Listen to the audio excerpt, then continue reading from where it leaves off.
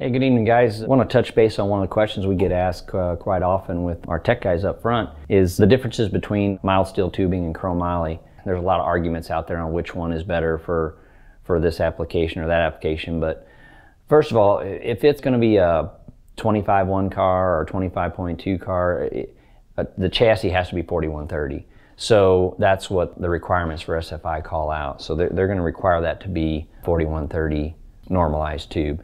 The differences between the two are chromoly is a very strong tube in a, in a very thin wall. So mild steel in the same wall thickness would be a lot weaker tube. So for instance, if I'm doing a strut tube here out an inch and a half 065 in chromoly, this is a very strong seamless tube. In mild steel, it's going to have a welded seam. In that same wall thickness, that tube would be very weak. Uh, so an inch and a half 065 mild steel would be a very flexible, very weak tube where 4130 is going to be much stouter for this type of application.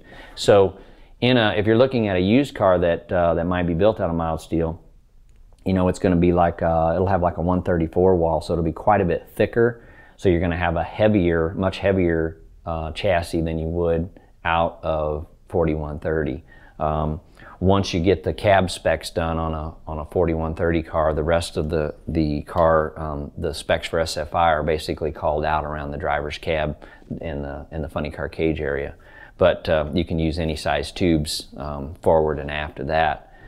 So um, you get some guys arguing that uh, you know in an impact, uh, mild steel is much better, and to a certain extent that is correct because mild steel is uh, so much softer than a chromoly tube, it will actually bend and give where a lot of times, um, let's say if you're, you're, you have a 4130 chassis and you take a glancing blow off the guardrail and hit the right front corner or left front corner, it will actually fracture some tubes, might even break some off um, where mild steel will just bend and kind of roll out of the way.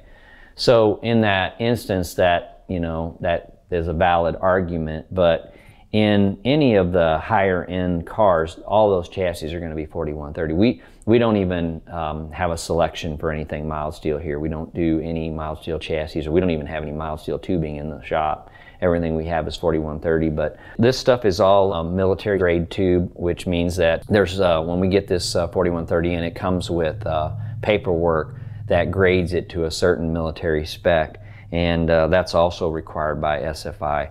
And uh, so what it means is the tube has a, a very consistent thickness throughout, so it uh, has a much tighter tolerance than a mild steel tube would.